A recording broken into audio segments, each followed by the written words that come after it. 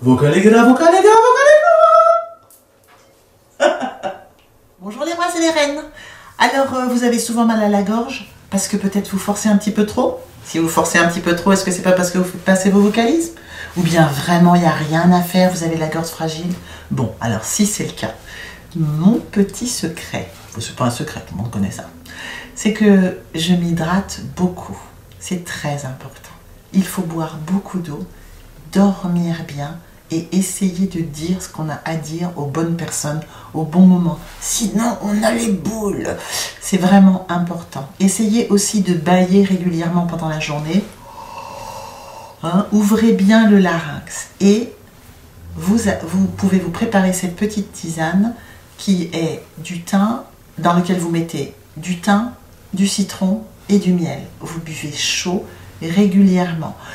Et moi, je rajoute, je rajoute toujours une petite goutte dans, ma tasse de thym à tunanol. C'est une huile essentielle euh, qui, euh, qui, est excellente euh, pour, pour détendre tout, tout, tout l'appareil vocal.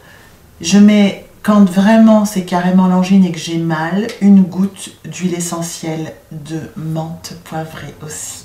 Donc, du huile essentielle de thym à tunanol, l'huile essentielle de menthe poivrée qui pourra aussi vous servir si vous avez mal à la tête ou si vous avez, euh, ou si vous avez un peu la nausée. Hein, ici, vous vous mettez euh, pour, sur les poignets. Et puis voilà. Et puis vous continuez à faire régulièrement des vocalises en baillant. Ne forcez pas sur la voix.